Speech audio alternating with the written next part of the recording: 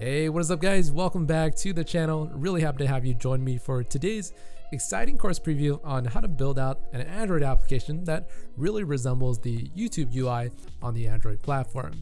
Now, we're not going to be working on anything crazy like playing videos inside of this course, but instead what I really want to do is to show you how to build out the most common features that you need for a fully functional Android application. Now, I know a lot of you that watch this particular channel, you're probably only interested in Swift content, right? And you don't care too much about Android development.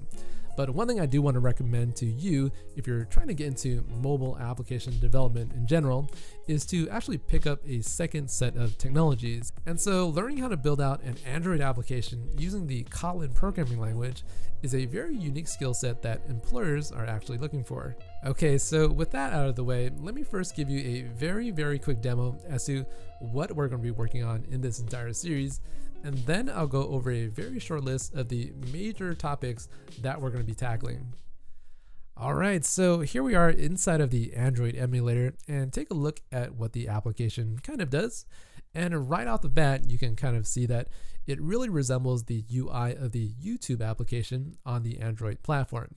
And so basically, we're going to be using something called a recycler view to build out a very efficient list of items that we can actually click into. So I'm going to click on the top item and this takes me into a second page for all the lessons available inside of the Instagram Firebase course.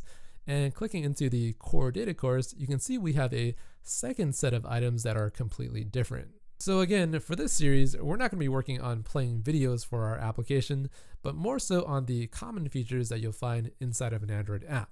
So let me click into the top course again and clicking into this item actually takes us to a web view that loads up the lesson inside of this component. So if you go back and click on the push notification episode, it actually loads that page right here. So you see the image looks differently and all the HTML elements are loading correctly. All right, so now that you understand exactly what we're trying to build out for this series, I'm going to now go over a list of the major topics we're going to be covering. So first off, we're going to start off with how to use a recycler view in order to build out a very efficient list that we can actually scroll through. Now, in order to properly use a recycler view, you have to learn about this thing called a view holder pattern to actually construct your individual items inside of your list. Now, everything inside of our UI is actually built out using this thing called a constraint layout, so I'll teach you how to use that as well. And then finally, we have to pull down all the data that you see inside of our application using a lot of URL requests. And the URL requests actually return JSON data. So I'll show you how to use third-party libraries so that we can parse JSON very easily and very quickly.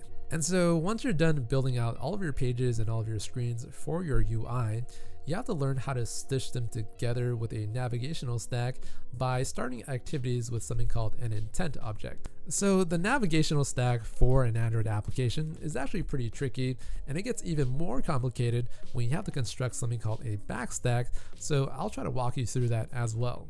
And then finally, if we have enough time inside of this series, I'm going to show you how to load different web pages using something called a web view component. All right, so I'm actually really excited to start off this entire series, and I hope you're excited too. Make sure to subscribe to the channel for the first video of the course, which should be released in just a couple of days. And that's gonna be it for me. Hope to catch you in the next video. Peace.